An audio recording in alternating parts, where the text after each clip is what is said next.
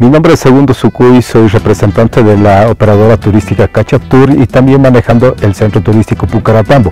Bienvenidos señores eh, que ustedes nos están visitando. Cacha es la tierra de los grandes guerreros. Bienvenidos a Pucaratambo.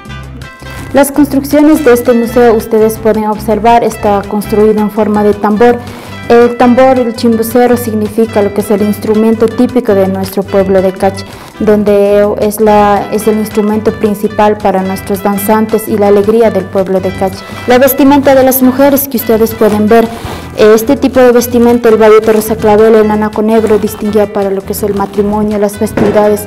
El color rosa clavel siempre ustedes pueden visibilizar en todas las personas porque distingue la alegría de las personas, que es el barril para cargar el agua. Asimismo utilizaban para el mismo proceso eh, de llevar agua de los pogios hacia sus casas, telar de cintura para elaborar las fajas. Ustedes pueden observar en este momento, en este telar, se encuentra la faja chimbapura.